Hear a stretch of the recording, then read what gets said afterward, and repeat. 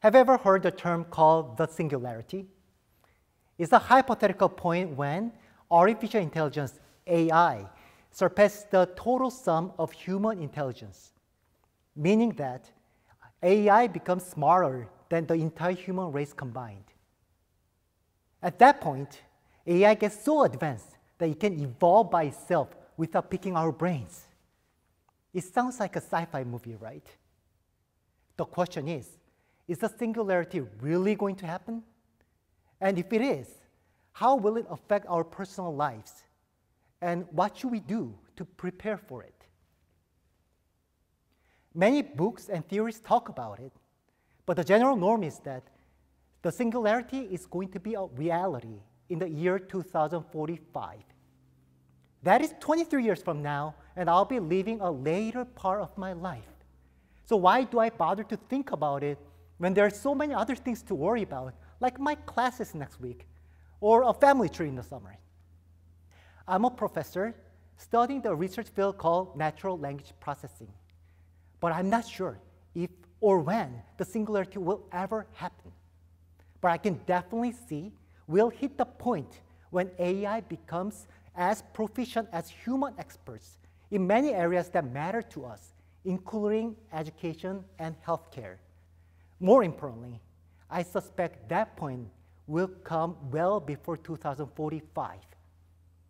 As a researcher in this field, I feel responsible for the future of our next generation, uh, driven by the technology that we develop. And that's why I care about the future of AI. It is no secret that the technology has made the most significant impact on human civilization for the last several decades. However, that is just a tip of the iceberg compared to the impact that AI will make on our society in our lifetime. And let me explain to you why. What do you think is the most challenging aspect to advanced technology? In my experience, it is to come up with the original ideas they will break through the pattern of existing platform and suggest something original that will change the way that people think typically.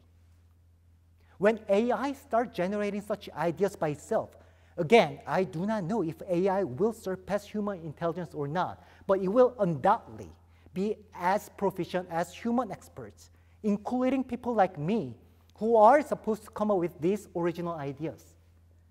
So it is foreseeable that AI will become smart enough to generate these ideas by itself, and when that happens, technological advancement will escalate because its biggest bottleneck is taken out of the equation. And machines never stop working. Just imagine a large group of brilliant scientists working together at all time, and they don't sleep and be as efficient at all time. When that happens, people will be very tempted to apply these AI originated ideas to their lives without anticipating the consequences. If you don't feel like we are going to do that, just hear me out. These days, most AI models adapt what we call deep neural networks that require intensive GPU power, consuming lots of energy.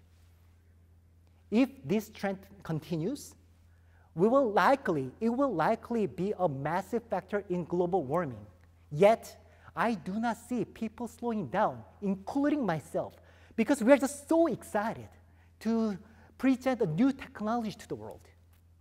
In the future, if AI asks us to make it smarter by using more GPUs, burn, burning more energy, then we may blindly follow its suggestion as we already do when GPS system take us to a new place, just because we believe that the system, AI, knows better.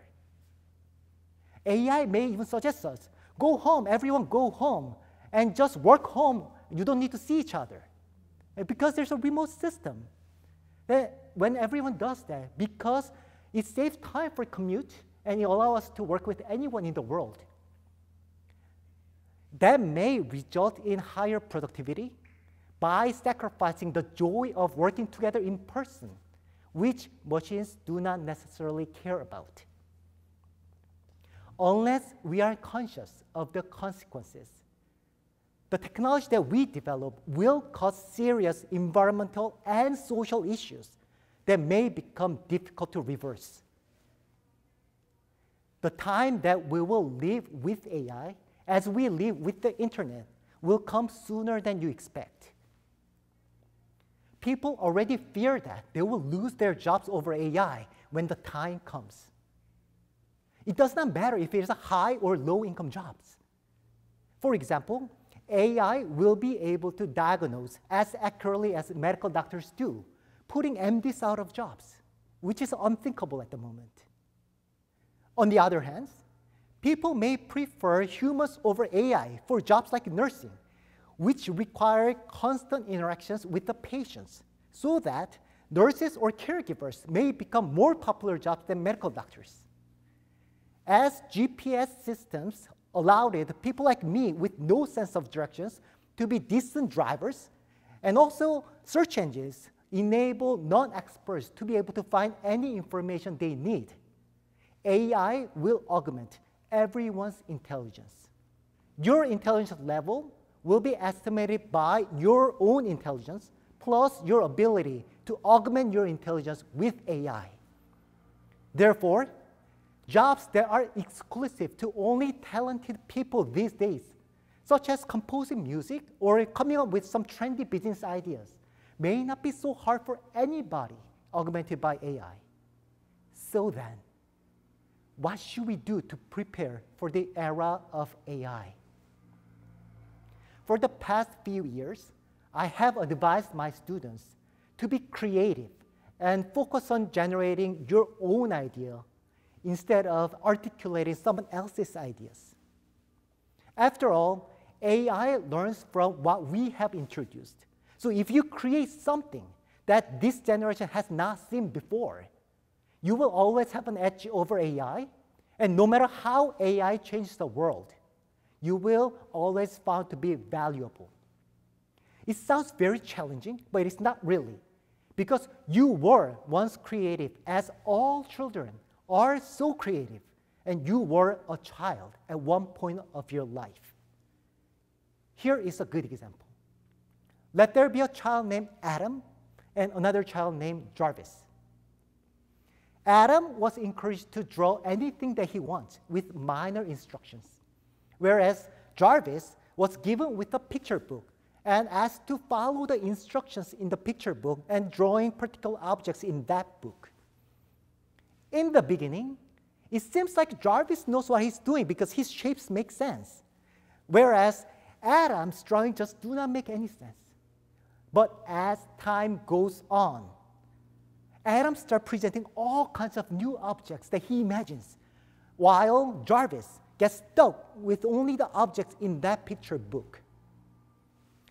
If you train yourself to be someone who draws nothing but objects in the picture book, you will for sure to be surpassed by the AI because that's what AI does extremely well. But if you start drawing something unweird, weird, unpolished looking, abstract things that's not in the book, then you produce something that AI can never dream of. A creative mind. That's what we need more than ever in the era of AI. One last thing. I already said we should be responsible for the technology that we develop. Technology should not be the goal of our research. We should find what human needs first and develop the technology for the needs because we, human beings, come before technology. I believe diverse minds from many disciplines need to collaborate in developing AI together to satisfy all kinds of needs in human life. That's how I see we should prepare the next 20 years for the era of AI and bring a futuristic yet human-centric environment to our next generation. Thank you very much, and God bless.